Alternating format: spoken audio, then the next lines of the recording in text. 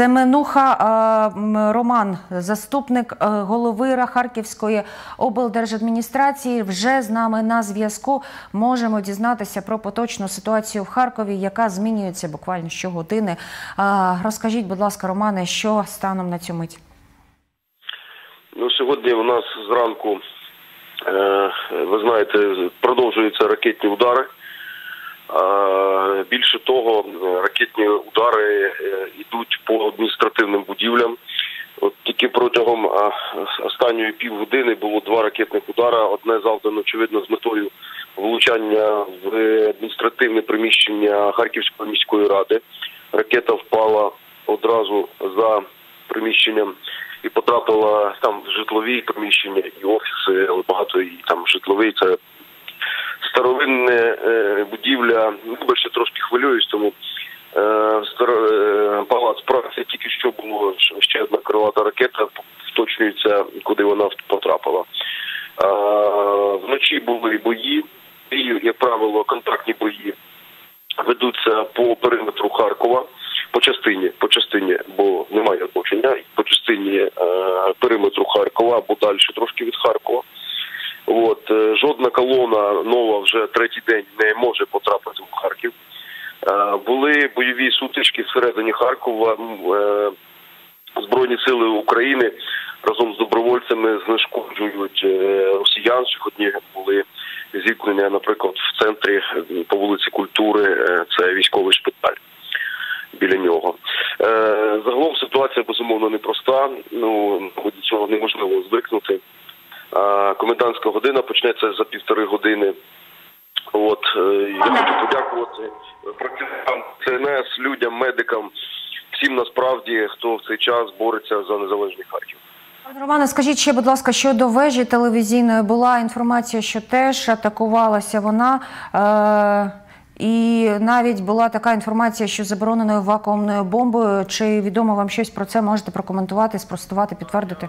Я я не можу це спростувати. Я справді е, чув цю інформацію про телевежу, але 100% не можу підтвердити.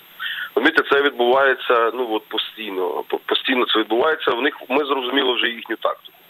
Вони не можуть зайти в місто, бо отримують по зубам. Я Кацапи маю на увазі. От і е, вони тому відповідно просто сіють паніку цими ракетними ударами. От які я так ми так розуміємо, що вони вилітають десь під Білгорода.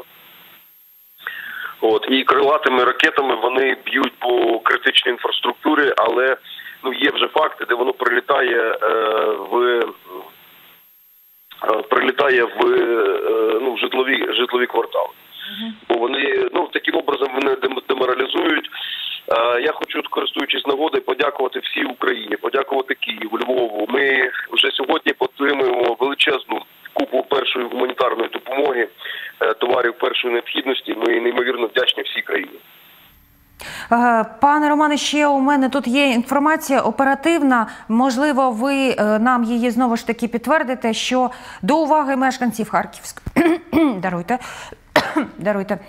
До уваги мешканців Харківської області гаряча лінія 102 тимчасово призупинила свою роботу, е, вочевидь, з зрозумілих причин, і даються контакти, е, мобільні телефони, е, за якими можна звертатися в разі, якщо вам потрібна допомога. Це дійсно так. Не працює 102 зараз у Харківській області. Ну розумієте, йде просто цунамі різної інформації.